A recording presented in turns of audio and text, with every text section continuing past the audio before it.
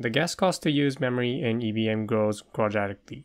According to the website evm.codes, the equation for how to calculate the gas cost is given by these two equations. Let's simplify and then graph this equation. For simplicity, we'll say that memory byte size is always equal to 32, and then we'll ignore this plus 31. What we're doing here is we're saying that we're going to use up uint256, which takes up 32 bytes of memory. So if we store one uint256 into memory, then memory size word will be 1. If we use two uint256 into memory, then memory size will be 2, and so on. So let's graph this equation memory cost using a graphing calculator. Here's the equation for how to calculate the cost for allocating memory into EVM. I copy this equation from evm.codes. And we'll simplify this equation to graph it on the graphing calculator called Desmos. First, we'll replace this memory size word with x. So the equation will be x squared divided by 512 and then plus 3 times x. We're only interested in the positive axis, so I'll zoom in a little bit on the positive axis. And notice that the equation is quadratic. And this curve tells us that the cost to allocate new memory will be more expensive than the cost to allocate the current memory. Let's actually write some code to see how gas cost increases as we allocate more memory. In Solidity, I wrote a simple code that will allocate memory and then calculate the gas cost for allocating that memory. It has a single function called allocmem.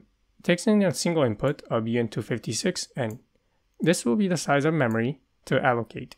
This function first calculates the gas cost and then creates an array of uint256 having the size n, and this n comes from the input. After it creates this array, it will calculate the amount of gas that is left, and taking the difference, we can see how much gas was used to create this array. I'll compile the contract by hitting Ctrl S, and we'll deploy the contract. And then we'll call this function allocmem multiple times, and each time we'll increase this number n. Let's start with 0. For creating a uint256 array of size 0, it will cost 120 gas. How about size 1?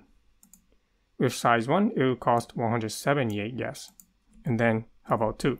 For 2, it will cost 184. I'll keep doing this for different numbers of n. And then afterwards, I'll plot the results on the graphing calculator. Okay, back inside the graphing calculator, let's see the results. So scrolling down, here I plotted the size of the uint256 array going from size 0 to all the way up to 200 and on the right side I plotted the amount of gas that it used. Let's see what these points look like. Zooming in, you can sort of see that this looks like a straight line.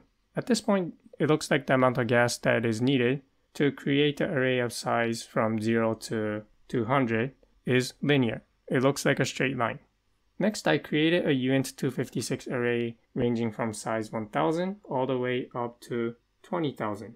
And then we'll plot the amount of gas that was used again. I'll zoom out first, and let's see this plot. Okay, so I see a graph over here. I'll zoom out further. And you can sort of see that the gas cost to allocate a uint256 array, where the size of this array is really large, the actual gas cost is similar to the gas cost given by this equation, which is plotted as a green curve. And if we zoom out further, and you can sort of see that this pink line converges with the green curve. So in summary, the gas cost to use memory in EVM grows quadratically. For small usage of memory, this gas cost looks linear. However, for a large amount of memory, this gas cost looks quadratic.